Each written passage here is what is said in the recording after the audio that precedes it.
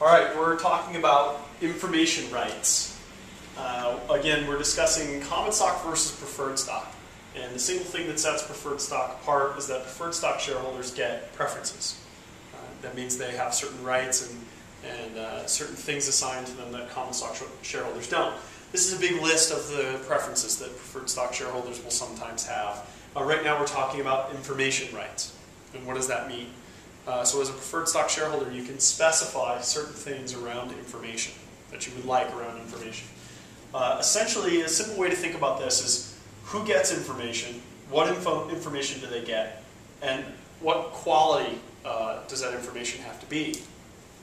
So who gets information, uh, that has to do with um, do all preferred stock shareholders get this information? Do all shareholders get this information? Does every investor, or is there some threshold uh, where you have to own a certain percentage of the company or a certain number of shares so that you're entitled to this information?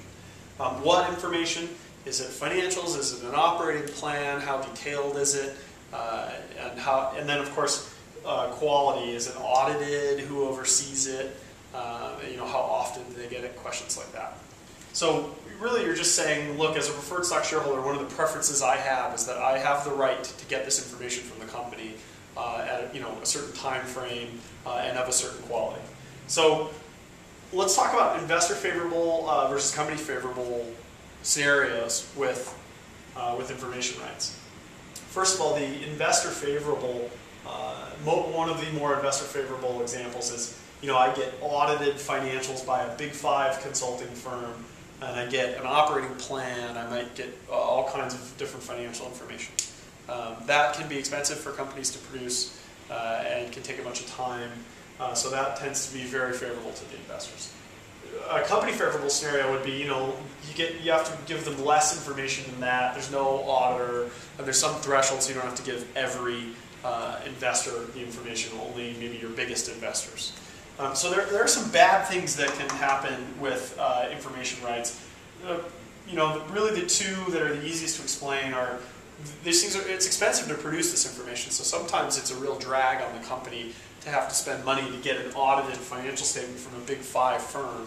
Uh, and then also, uh, they'll put in thresholds sometimes because they're concerned about small investors leaking information, uh, leaking financials about you know, around valuation or uh, specifics around the funding uh, or whatever, specifics about anything in the company, it could be the technology or the IP.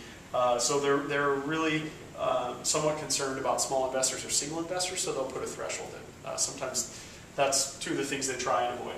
But again, important to understand preferred stock preferences that common stock does not have. One of those preferences, the right to information.